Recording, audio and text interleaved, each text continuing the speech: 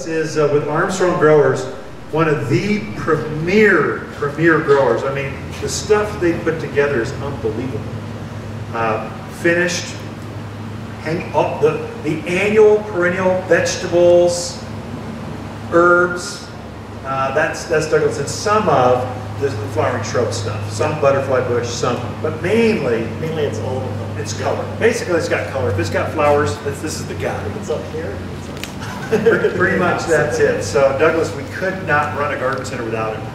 And no other grower in the Southwest comes close to their quality. They, they just don't even, they're so subpar that you put them in the ground, they stop blooming, or they just don't look that good, or the vegetables are not organic, genetically modified. They just don't stand. We're, we're all organic, all non-GMO, all these standards that we have, they fit that, and their stuff looks good.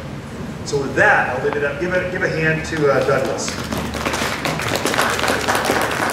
Well, good morning and thank you, Ken. Um, glad to be here. Um, and thank you, Watters, for being such a good partner with us. Um, we're always uh, thankful for the partnership that we've built over the years.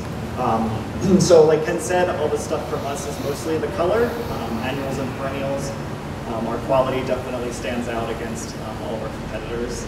Um, any competitors up here, you're gonna um, notice that Watters always has the best um, items that are in full bloom, the healthiest plants. Um, we use the best soil mixes. We grow in larger one gallon, two gallon, or hanging baskets than you would find at a box store.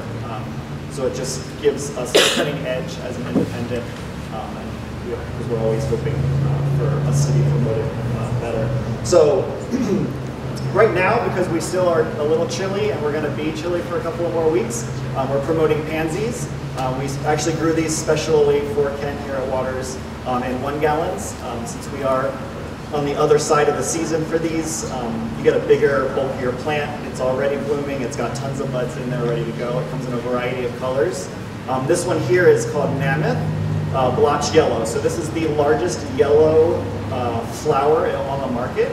Um, and then the blotch is just the, the fun little, what we call a face on it. Um, all of our plants are grown with uh, organic fertilizers, um, like Ken touched on with our edibles, which right now in the chili season there are quite a few vegetables that you and herbs that we can plant. Um, the spinach and lettuces and the kales um, are all really great right now. Um, the nice thing about our program is, like Ken said, it's, it's organic. So we are certified not just federally, but because we are a California grower, we're um, certified through the state of California, which is actually stricter um, rules and regulations than federally. Um, and you'll always know that because all of our um, tags and all of our plants will show that it's certified organic. Um, so the proof is, is right there for, for you to see. There's all the rage about you know the, the bad chemicals that are being used. A lot of the box stores um, you know have to label it that way. Here at Watters Garden Center, we don't have any of that because as a grower of theirs, we don't use any of those um, horrible, nasty things that are um, affecting um, the, the birds and the bees. Um, another item or another point is all of our four inch, which is this size, which we don't have yet, is the perennial program, which those are all 100% organically grown, which is actually very challenging for us as a grower to grow something that blooms without any type of chemical in it. So um, you can faithfully know that when you buy a perennial here at Watters that you are not affecting um, any of the bees or any of the pollinator, butterflies, all that stuff. Um, so that's a really proud moment for us. It's taken us many years. Um, we've actually taken a couple years off of growing a couple of really important crops until we perfected um, growing it organically. So that's a really cool thing. Like I said, unfortunately, it's still chilly, so a lot of those those perennials aren't here yet. But definitely stop back in, the next few weeks. Um, we ship um, every week here, so we're excited for that. Um, another really cool item is the Swiss chard bright lights, and as you can see, you get for a foliage plant, you get a really big bang of color. All the stems are really brightly colored with um, your oranges and your yellows and your deep red. A lot of the times in the landscape, we're using this ornamentally, meaning that you're not necessarily going to eat it. Um, so, but- so it's a really good companion plant um, with the pansies and the violas and um, all the other post-season plants that we can plant right now. Um, in the family of pansies, we have a brand new one that is the cool wave pansy. So everybody kind of just remembers pansy as an old-fashioned plant that our grandmothers and grandfathers grew. What's great about this is it's hybridized to actually trail. So a lot of people know what um, super petunias are and wave petunias.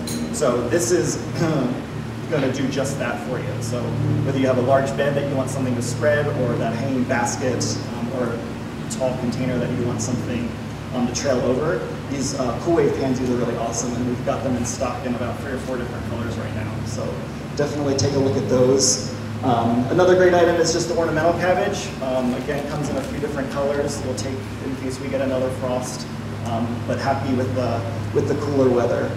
Um, and that's really the spotlight for what's really great for this weekend to come in and plant. Um, definitely open to any questions. I'm here all day. Yes, Ken. Would you describe yourself as a more vegetable gardener, personally, or personally, flower uh, gardener? flower guy. Flower guy. What's your favorite flower any time of the year? Just personal and color.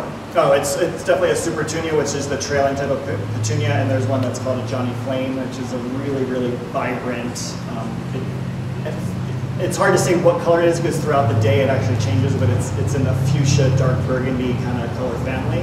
Um, so that's my all-time. And what was that one called? Johnny Flame in super petunias. So again, the, and that We'll have those showing up probably in April, so Yeah. another month Yeah. or so. As soon as we get word, petunias will take a light frost, but they won't take a hard freeze. Right. So as soon as we think we're done with hard freeze, we'll just get, you know, thirties, we'll, we'll start bringing those in. Same with the geraniums, all that stuff. Right. Yeah, a lot, lot more vegetables are coming. I mean, we're not ready for tomatoes yet. Yeah, no, people were asking though, there was. No, uh, God, last newbies. year, that's all they asked for. Um, But definitely stop back in, because when the peppers start coming in, we have a huge, huge new collection of hot peppers. Um, That's kind of all the craze right now, so everybody who wants to make their sauces and stuff, definitely stop back in for, for those. There's a whole um, collection of new chilies that we're doing. Um, A lot more tomatoes, a lot more heirloom tomatoes, um, varieties that people have never heard of we have, so definitely um, come check those out. And I always dedicate myself, ten percent of my garden is dedicated to just fun, new stuff. I've never done it before. I have no idea what to do with bok choy, but I then want to try it. So it forces me to find a recipe and, and figure out what to do with it, or juice it, or I can tell you this one, great for juicing. Lisa I love the juice. Plant this in the fall, and it looks like this. It's beautiful. And if you're a bird gardener, you love birds, this is a food source for a lot of this, the little guys, sparrows and stuff. They'll, they'll peck away at the flesh as a food source before the seeds and the other weeds come up. In a couple of weeks, their natural stuff that they like will take over and they'll, they'll, the pressure will be off of this. They'll go to their natural stuff. So if you want to bring more birds into your garden, I plant this in the backyard just for them. So that's some ways to do it. I did plant this uh, cool wave last fall because I know pansies will grow right through winter. It's been in bloom nonstop since I planted it. It's now this long and it's trailing over this great big pot. And then I've got snapdragon and stuff behind it. It's it's marvelous. I mean, it's just beautiful to have something trailing in the winter. You just there aren't anything. This is one of the only things you can have when it's really cool. Um, and then anyway, I think they covered it. But yeah, non-GMO, organic. Yep. That's the reason. If you were using chemicals, I can tell you, Home Depot and those guys, they're using nicotinoids. That's how they keep track, get the bugs down, so they don't have to clean the, the greenhouse. They don't have to be organized. They don't have to be organic because they got this stuff that kills bees. You and I, and I don't know what else, in the soils. And I just don't want that for myself. I got to handle this stuff all day long. I'm the guy that's going to get cancer, not you all. You're going to plant one or a dozen plants and you're done for the year. I'm going to sell 2,000 of them. So I really am worried about myself, but then that extends out to my friends. So if they just have, we just don't use that. And then from there, we bring your plants in, we give them mycorrhizal fungi, which help them root, help them take, help them uh, root faster so you get better propagation, better take, better. We do that for shrubs or trees, everything. So that's kind of, we're, we're trying to get, we're known a place where our plants grow. Uh, the other guys, they have a great warranty. They need it. Their stuff doesn't grow. we've got an even better warranty and our stuff does grow, so you won't have to use it. So anyway, thank you, give it up for Douglas, thank you very much.